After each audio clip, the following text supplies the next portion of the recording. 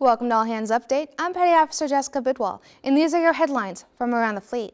The guided missile frigate USS Gary intercepted a suspected narcotic trafficking vessel off the coast of Central America last month. With assistance from the U.S. Coast Guard and the Canadian Navy, Gary seized more than 5,200 kilos of cocaine from the vessel. This was the largest drug seizure in the Pacific Ocean since 2009.